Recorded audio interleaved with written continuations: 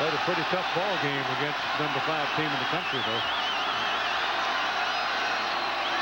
This is Morris again. He's been the hammer. Touchdown!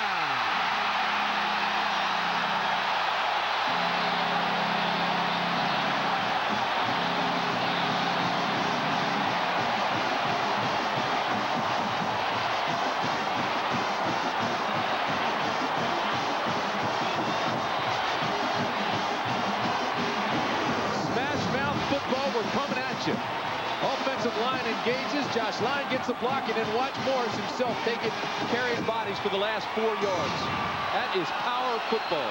12 plays, 80 yards, 7 minutes and 45 seconds in the fourth quarter. Boy, they get that red zone and the rules change. Then it's the straight ahead, no fair dodging. Good. Jared Siegel. And it's a 17 to 6 game. The Oregon Ducks have it by the throat.